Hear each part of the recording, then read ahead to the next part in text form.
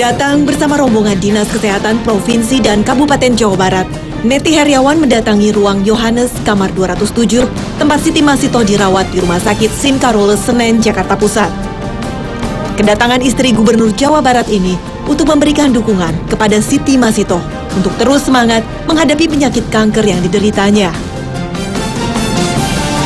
Neti Heriawan juga melakukan pendekatan persuasif kepada pihak keluarga untuk mau memindahkan Siti Masito ke rumah sakit di Jawa Barat guna mendapatkan pembiayaan sepenuhnya dari pemerintah provinsi. Kalau kemudian pertimbangan medis memungkinkan, kita akan coba pindahkan Siti ke rumah sakit di wilayah Jawa Barat. Ya. Uh, kalau pertimbangan medis memungkinkan.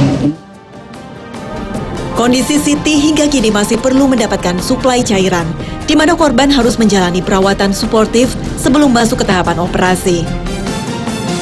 Kemungkinan kalau untuk kondisi saat ini kita berpikir ke arah sana, ya.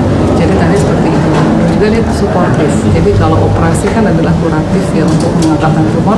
Nampaknya kita belum ke arah sana ya, karena untuk ya, bernafas saja sulit, ya, apalagi untuk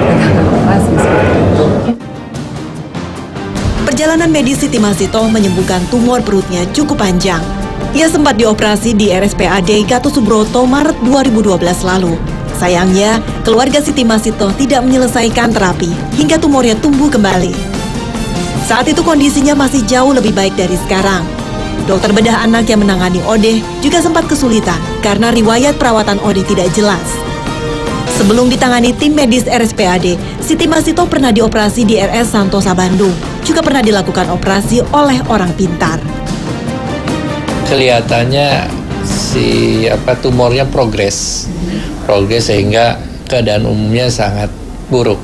Artinya gizinya jelek, kemudian karena tumornya makin lama makin besar, tumor di perut itu bisa berhubungan dengan segala macam. Nafasnya bisa terganggu karena diafragmanya terdorong, dia sesak, Penyakit serius seperti tumor ganas memang membutuhkan keseriusan dan support penuh dalam penyembuhan.